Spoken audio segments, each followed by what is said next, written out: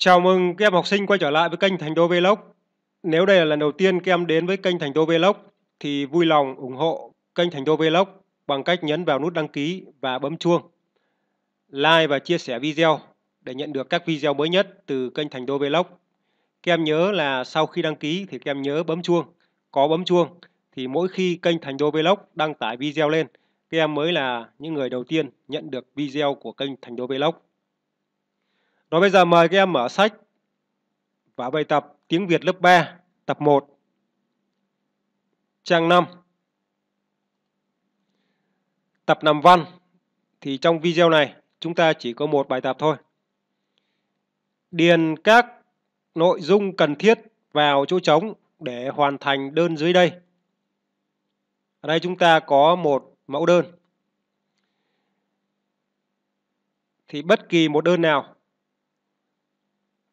dòng đầu tiên của đơn, đó chính là quốc hiệu dòng Cộng hòa xã hội chủ nghĩa Việt Nam. Dòng này các em nhớ, viết hoa tất cả các, tất cả các chữ Cộng hòa xã hội chủ nghĩa Việt Nam thì dòng này người ta gọi là quốc hiệu. Dòng tiếp theo là các em viết ở giữa và cách đều. Độc lập, gạch nối tự do gạch nối, hạnh phúc, thì dòng độc lập tự do hạnh phúc này em gạch dưới gạch dưới chân.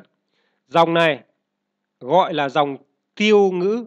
Em nhớ nhá, dòng này gọi là dòng tiêu ngữ. Cộng hòa xã hội chủ nghĩa việt nam gọi là quốc hiệu. Độc lập tự do hạnh phúc gọi là tiêu ngữ. Tiêu ngữ. Rồi, sau đó là địa điểm, ngày, tháng, năm. Phần địa điểm này, các em thường là viết tên tỉnh hoặc là tên huyện. Ví dụ các em ở huyện An Lão, tỉnh Hải Phòng, thì các em viết là An Lão, ngày, tháng, năm. Hoặc là các em ở Quỳnh Phụ, Thái Bình, thì các em viết là Quỳnh Phụ, ngày, tháng, năm. Sau đó đến phần à, tên của đơn. Ví dụ, đây là đơn xin cấp thẻ đọc sách thì các em viết tên của đơn là đơn xin cấp thẻ đọc sách hoặc là tên của đơn là đơn xin nghỉ học. Thì dòng tên đơn này cũng giống như là quốc hiệu, các em viết hoa tất cả các chữ. Ở đây là đơn xin cấp thẻ đọc sách. Rồi, tiếp theo là đến phần nội dung của đơn.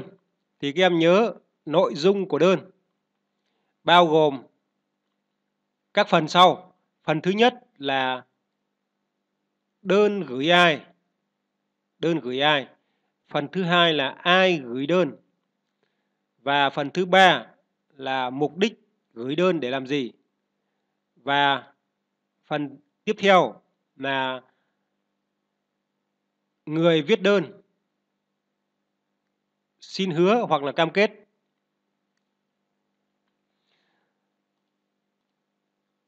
Nội dung đầu tiên của đơn là dòng kính gửi. Ở đây là kính gửi thư viện. Thư viện trường nào? Thì đây chính là nội dung đơn gửi ai? Kính gửi thư viện trường tiểu học Kim Đồng hoặc là kính gửi thư viện trường tiểu học Quỳnh Côi, kính gửi thư viện trường tiểu học Nguyễn Viết Xuân chẳng hạn. Đây chính là nội dung đơn gửi ai. Sau đó đến nội dung là ai gửi đơn. Em tên là Em tên là gì? Họ tên đầy đủ các em viết vào đây. Em tên là Nguyễn Văn A, Nguyễn Văn B. Sinh ngày, ngày sinh của em, ngày tháng năm sinh các em viết vào đây. Giới tính là nam hay nữ? Nam thì các em viết là nam mà nữ các em viết là nữ. Tiếp theo là nơi ở. Nơi ở là địa chỉ nơi em sinh sống. Phần này các em không biết thì các em có thể hỏi bố mẹ của các em để các em viết vào đây. Thì trước khi chuyển màn hình thì chúng ta sẽ hoàn thành phần này trước. Ví dụ ở đây chúng ta có nơi huyện mà các em đang ở. Ví dụ là huyện Quỳnh Phụ thì các em viết là Quỳnh Phụ. Hoặc là các em đang ở An Lão thì các em viết là An Lão, Quỳnh Phụ. Các em lên viết huyện nó gần gũi hơn là viết tỉnh. Ví dụ là ngày ngày 22 tháng 9 năm 2020 chẳng hạn. Đây là cái ngày mà các em làm đơn. Rồi. Đơn xin cấp thẻ đọc sách, kính gửi thư viện. Ví dụ là thư viện trường tiểu học Quỳnh Côi chẳng hạn. Đây là nội dung đơn gửi ai? Ai gửi đơn? Em tên là, Ví dụ em tên là Đoàn Anh Kiệt thì các em viết vào đây, đầy đủ họ tên và chữ cái đầu tiên của mỗi từ, các em nhớ là phải viết hoa, bởi vì đây là tên riêng. Đơn gửi ai? Ai gửi đơn? Người gửi đơn là Đoàn Anh Kiệt. Sinh ngày bao nhiêu? Các em viết ngày tháng năm sinh vào đây. Ví dụ là sinh ngày 20 tháng 7 năm 2010. Rồi, giới tính là nam hay nữ? Nếu là nam thì các em viết vào đây là nam. Đoàn Anh Kiệt là nam. Các em viết là nam. Nơi ở, địa chỉ, nơi em sinh sống. Ví dụ là ở khu 3 thị trấn Quỳnh Côi, huyện Quỳnh Phụ, tỉnh Thái Bình chẳng hạn. Rồi, phần này mỗi em có một địa chỉ khác nhau thì các em có thể hỏi bố mẹ của mình. Nếu các em không biết rồi và các em viết vào đây. Bây giờ chúng ta chuyển màn hình sang phần tiếp theo. Tiếp theo là học sinh lớp, lớp mấy, trường nào. Và chúng ta sang phần nội dung tiếp theo là mục đích gửi đơn để làm gì. Đơn gửi ai, ai gửi đơn, mục đích gửi đơn để làm gì. Em làm đơn này xin đề nghị thư viện cấp cho em thẻ đọc sách năm, năm bao nhiêu. Và phần tiếp theo của đơn đó chính là lời cam kết hay là lời hứa của người làm đơn. Được cấp thẻ đọc sách, em xin hứa thực hiện đúng mọi quy định của thư viện. Và cuối cùng là em xin trân trọng cảm ơn. Người làm đơn, ký tên. Rồi ở đây chúng ta hoàn thiện phần này. Ví dụ bạn Đoàn Anh Kiệt học lớp bao nhiêu? Lớp 3A chẳng hạn. Trường tiểu học Quỳnh Côi chẳng hạn. Em làm đơn này xin đề nghị thư viện cấp cho em thẻ đọc sách năm, năm bao nhiêu? Năm 2020, 2021 chẳng hạn. Được cấp thẻ đọc sách, em xin hứa thực hiện đúng mọi quy định của thư viện. Ở đây các em lưu ý là năm này phải phù hợp với năm mà các em đang học.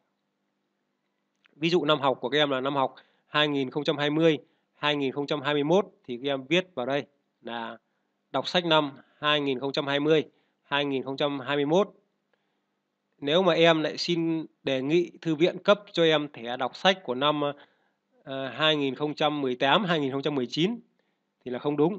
Như vậy thời gian đó nó đã đi vào quá khứ rồi.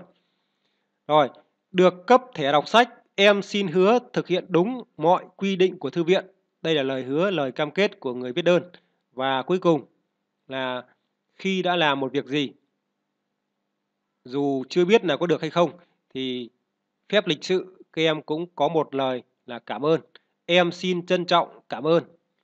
Người làm đơn tên của người làm đơn ở đây là là Kiệt thì ký tên vào đây là là Kiệt. Rồi như vậy là video hôm nay xin được kết thúc ở đây. Cảm ơn các em đã dành thời gian để theo dõi video. Và đừng quên ủng hộ kênh Thành Đô Vlog bằng cách nhấn vào nút đăng ký và bấm chuông, like và chia sẻ video để nhận được các video mới nhất từ kênh Thành Đô Vlog. Xin chào và hẹn gặp lại các em trong các video tiếp theo.